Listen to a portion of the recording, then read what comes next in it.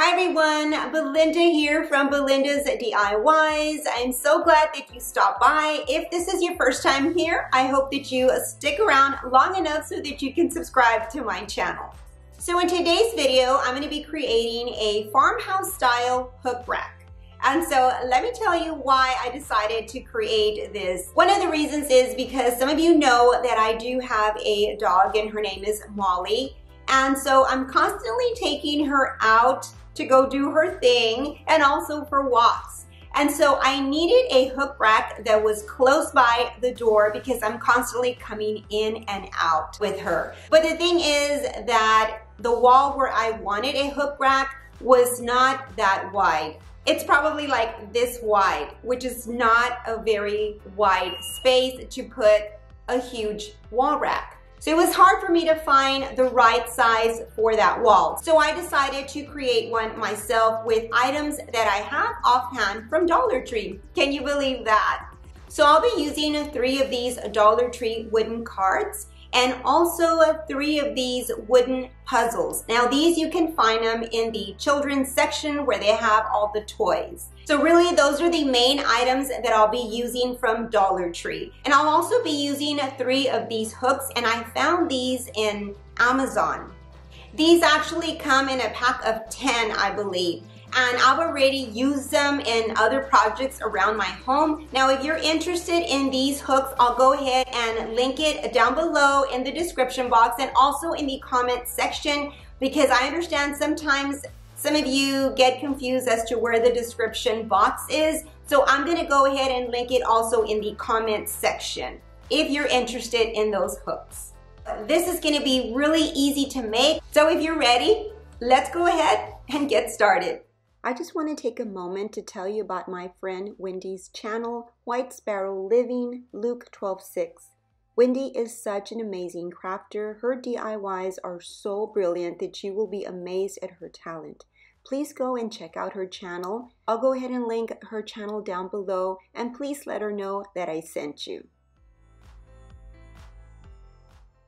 So I started with the obvious. I went ahead and I removed the wrapper from my wooden puzzles and I also removed the little wooden puzzle inserts. And I put them away just in case I could use them later on in another DIY. So I laid them out side by side as you see me do there and I also used a square that way they would be in line because I was going to be hot gluing them together. Now I used the hot gorilla glue because this really bonds really strong and especially onto wood. So I didn't have to use wood glue or anything like that because the hot glue is sufficient for this project.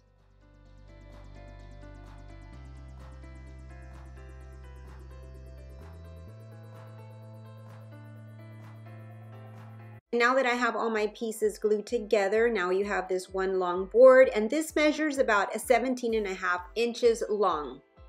Now with the wooden crates, I'm gonna follow the same steps. I'm gonna line them up and then glue them side by side. And now that I've glued them all together, now I've created some sort of shelving for my rack.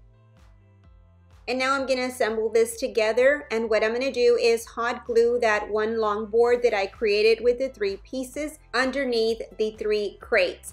I didn't measure out anything, I pretty much just eyeballed the center. I'm also going to be using some of these gallon stir sticks and these come in a pack of 10. Now I purchased these at Lowe's and these are about 97 cents for 10. So that's a really good deal. Now what I'm going to do is reinforce where both the crate and the flat board join together by adding the stir sticks on the seam and I'm just going to attach it with some hot glue. That one stir stick did not cover the whole board, so I am cutting another stir stick so that I can finish reinforcing the seams. So I went ahead and I cut two more pieces of stir sticks and I'm going to put them right underneath where those crates are. I just want to dress it up and not make it look so unfinished. And now I have this wall decor that has a little shelf And as you can see, this is the back. I reinforced it there with the stir sticks as you can see there on the back.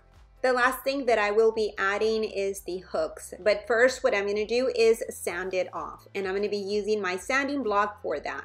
Now on the back of these wood puzzles, they had these red letterings or words, so I'm gonna sand that off. And then the rest of it, I'm just gonna lightly sand it.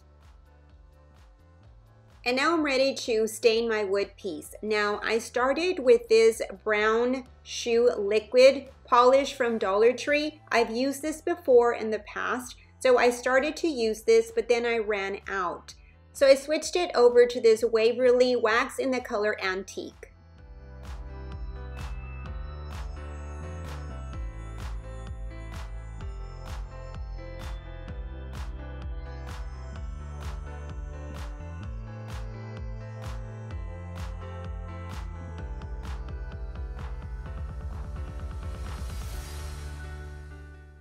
So I let this dry for about four hours and it was already dry, so I was ready to continue working on my project. Next, I wanted to give my wood piece more of a store-bought piece, so I decided to add this welcome sign, and this is from Chalk Couture. And I've talked to y'all a little bit about that. This is a transfer that goes on any surface and then you just add your chalk paste. And you'll see me do that just a little bit later on. But first I'm just gonna cut out the piece that I need. So once I've cut out my transfer, now I'm gonna position my words where I want them to be. And now I've taken off the backing for my transfer and I'm ready to go. So I'm gonna start smearing my chalk paste onto my transfer and all I do is use my squeegee for that and I just move my paint around. I've talked about this in another video. This is something that you can purchase online on the Chalk Couture website. I'll go ahead and list the website down below in the description box and also in the comment section. Now this particular sign here is only available if you join Chalk Couture.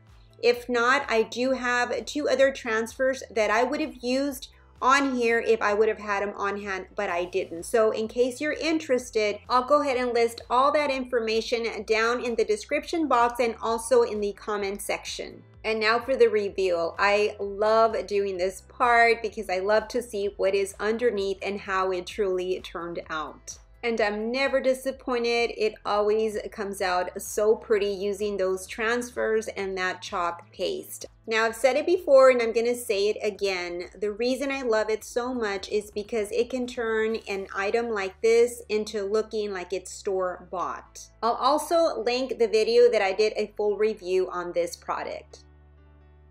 Now I'm also going to be using these little pieces of the Dollar Tree Tower game and what I've done is I got four pieces and I also stained them. Now I'm gonna be placing them on my board just like this so that I'm able to put my hook over it. And that way it gives the screws more stability whenever I screw it into the wood. So I'm gonna glue the two little pieces of wood together and it'll form one block. So I'm just gonna continue repeating the same process to the other two and then I'll end up having a set of three. And now I'm gonna hot glue those blocks where I want my hooks to be.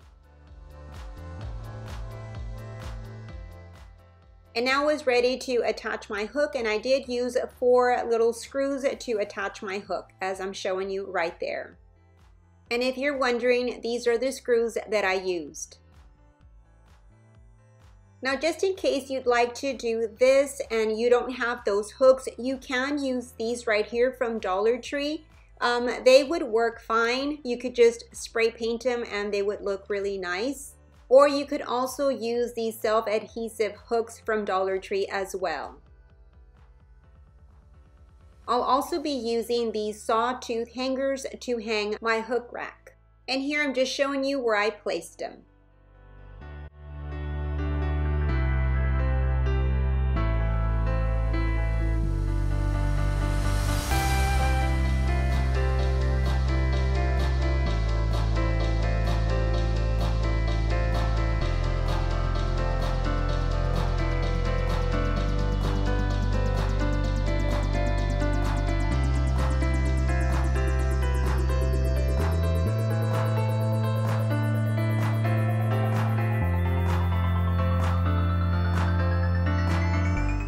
Well, that's it for this video. I hope that you enjoyed it. If you did, please give me a big thumbs up and also share. You have yourself a Merry, Merry Christmas and a blessed day. Until my next video, bye-bye and God bless.